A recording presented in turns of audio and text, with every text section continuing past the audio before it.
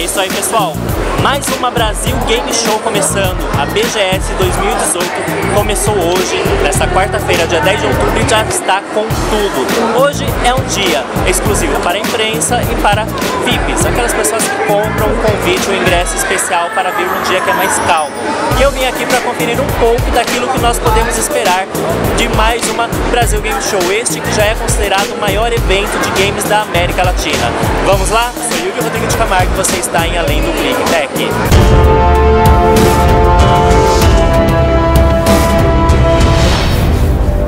Além do clique.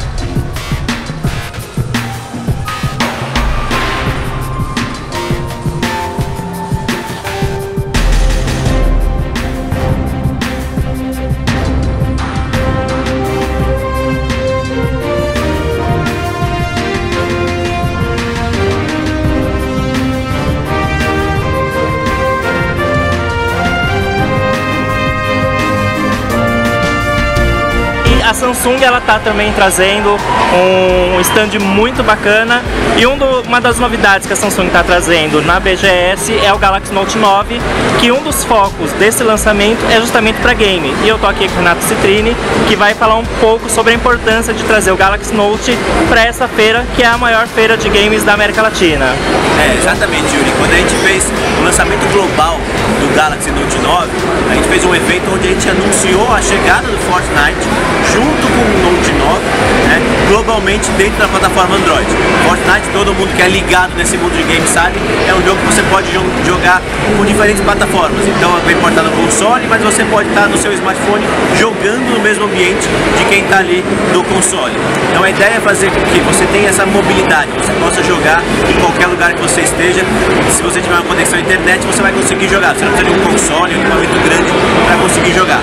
Graças ao processador que a gente tem no Note 9, você consegue né, uma, rumah uma realidade, né, uma resposta de jogo muito conveniente, muito apropriada para jogar um jogo tão eh, eh, pesado quanto Fortnite. É gráficos em 3D, todo mundo, são 100 pessoas na ilha jogando ao mesmo tempo.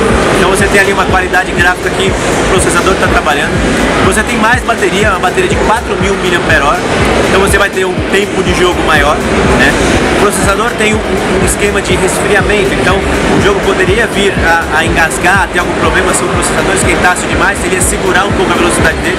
Então o Note 9 tem um sistema de resfriamento que vai fazer que esse efeito ocorra mais tarde. Né?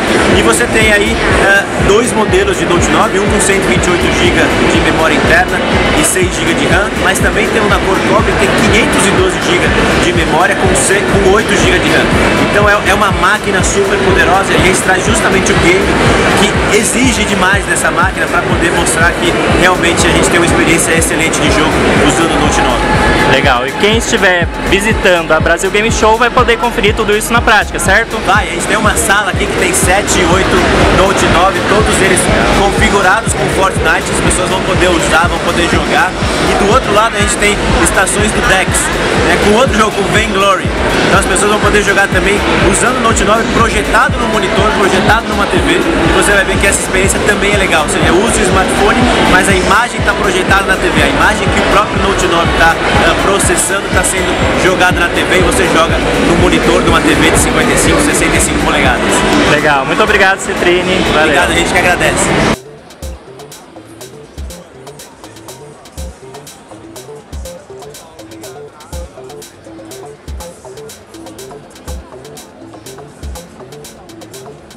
Agora eu tô aqui com o André Faria, da Samsung, que vai falar um pouquinho também sobre o que a Samsung está trazendo de monitores, de novidades sobre monitores gamers aqui na Brasil Game Show.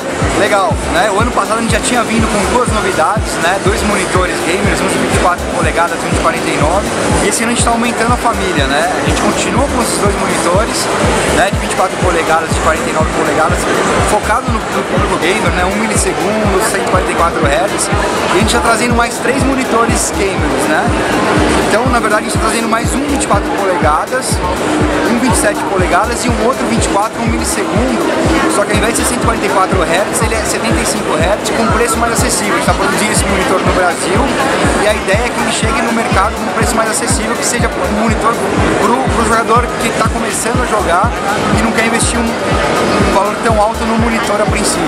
Então a gente está pensando em todos os tipos de jogadores, né? desde o do cara que joga mais casualmente até o hardcore, né? que ele tem um monitor de 49 polegadas, enfim. Então a Samsung está pensando nesse mercado e está trazendo a linha completa aí para atender o, o público gamer. Legal. E me diz uma coisa, qual que é a importância desse mercado gamer para a Samsung? A gente vê que a Samsung está com várias iniciativas para esse mercado. Sim, eu acho que o maior exemplo é a própria feira que a gente está, né? Primeira vez que aqui que eu, eu vejo a Samsung entrar com o stand dela, né?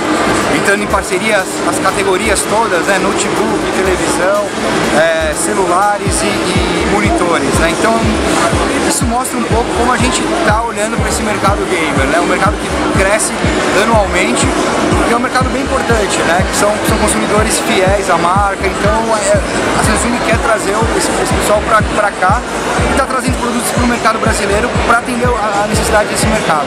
Legal. Tá ótimo, André. Muito obrigado. Valeu. Imagina, obrigado.